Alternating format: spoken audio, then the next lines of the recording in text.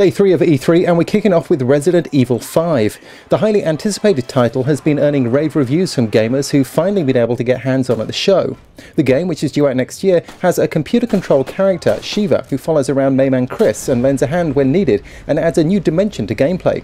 Overall, the game doesn't bring too many changes from Resident Evil 4, which means Capcom probably has a hit on its hands.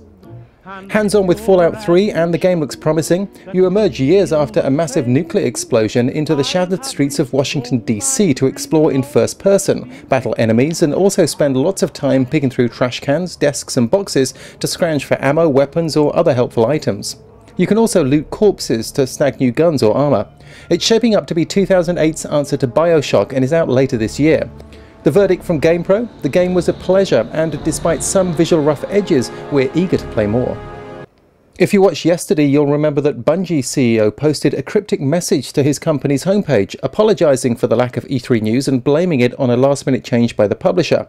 Well, 24 hours later, and we know that the publisher is Microsoft in the news, a new Halo game. Nothing more is known about the title. Apparently Microsoft didn't want it announced because it would take the spotlight away from its Xbox 360 lineup and games like Gears of War 2. Gran Turismo TV, which delivers TV content to Gran Turismo 5 Prologue, is coming on August 1st through the PlayStation Network.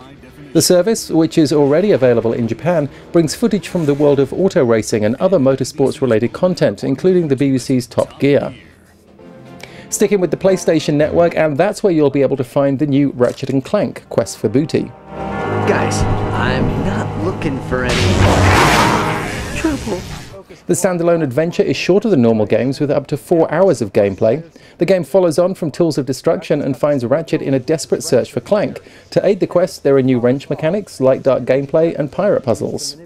And good news for Nintendo fans, the Mario and Zelda development teams are hard at work on new titles for both franchises, President Satoru Iwata said at Nintendo's E3 news conference. There's no word on what those titles might be or when we might see them. And that's your E3 News Wrap. Come back for more later with reporting by GamePro correspondents at E3. I'm Martin Williams, IDG News Service.